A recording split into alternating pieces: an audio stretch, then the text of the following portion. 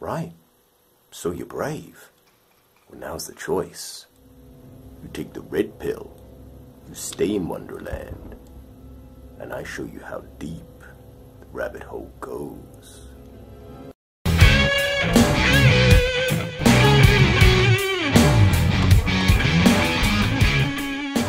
I guess you took the red pill.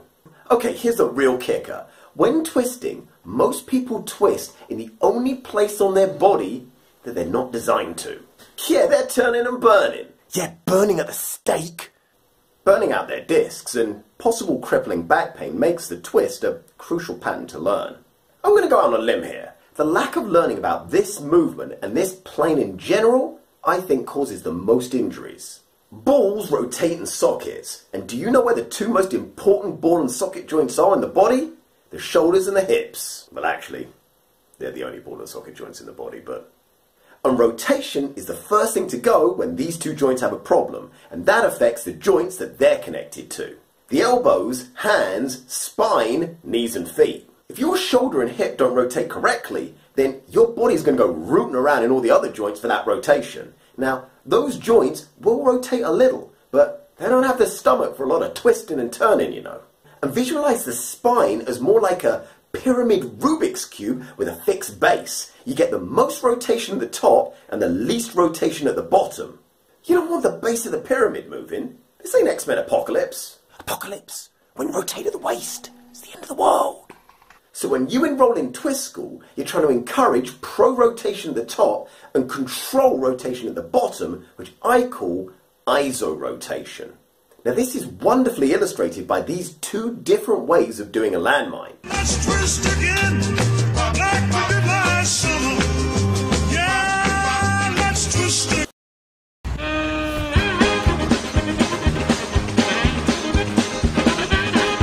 And there goes my back in the demo.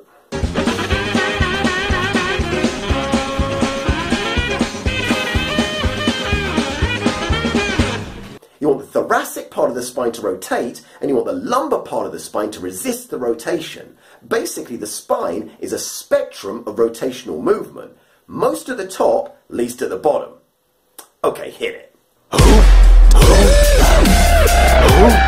So right there, you've got two different skills that you need to master. Encouraging a high degree of cervical and thoracic rotation and minimizing lumbar rotation. Now there are three groups of people that need to master this. Sports people, people who want to look good naked, and people in pain. And if you don't fit into one of these groups, then you've the devil in you. Now this skill is essential in sports performance. If you can't control the bottom, you get leakage. If you can't produce from the top, you're missing out on power. It's also vital for aesthetics. If you don't have iso rotation, you end up with a wide waist and small hips, which destroys your hip to waist ratio, making you look more overweight than you really are.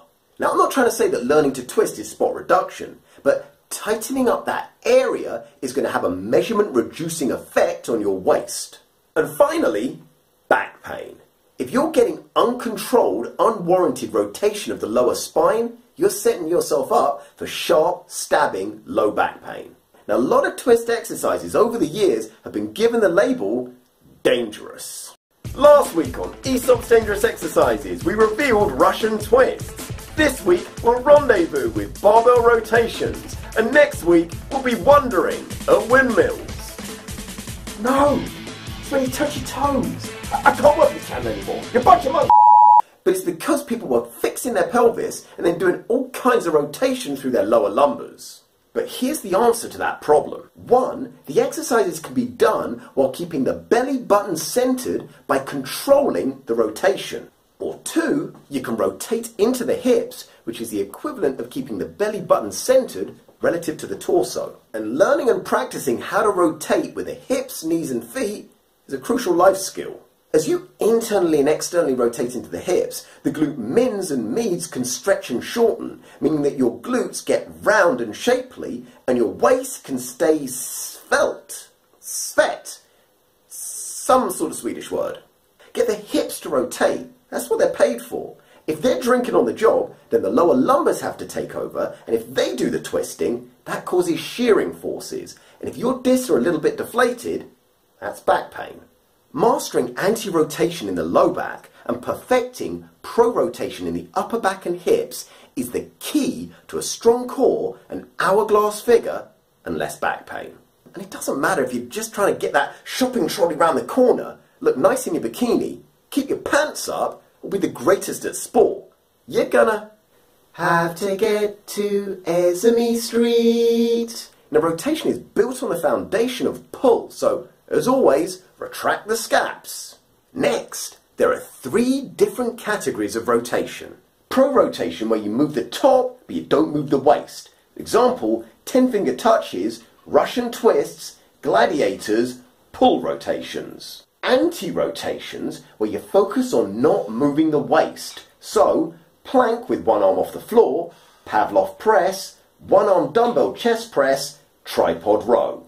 And pro upper rotation, anti lumbar rotation, pro-hip rotation, like wood chops, gladiators, landmines, long pole twists. The only thing we're not doing is swiveling the old innie or outie.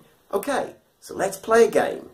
Three of these things are quite like the other. Three of these things are kind of the same. But one of these things just doesn't belong here. Now it's time to play our game. It's time to play our game. The universe has supplied endless variations, so once I finish this hard hip hinge series, I'm on easy street. I'm just producing exercise videos of the week. I'm just going to be sitting back and letting the money roll in from AdSense. Yeah, invest my 14p a month on hookers and blow. My comment section just going to be full of, wow, that's an amazing exercise. How'd you come up with that? Definitely going to try that in the gym. But all the rotational exercises come from understanding the basic concept, and the skill of being able to do it well is a lot more important than the weight that you lift initially. The weight is just a variable that will increase long down the line. Focus on what your body does to your belly button when you change the variables. Is it the same left to right? Analyze it for yourself. Now finally, we get to the footwork of the twist. Now, it's not as complex as this.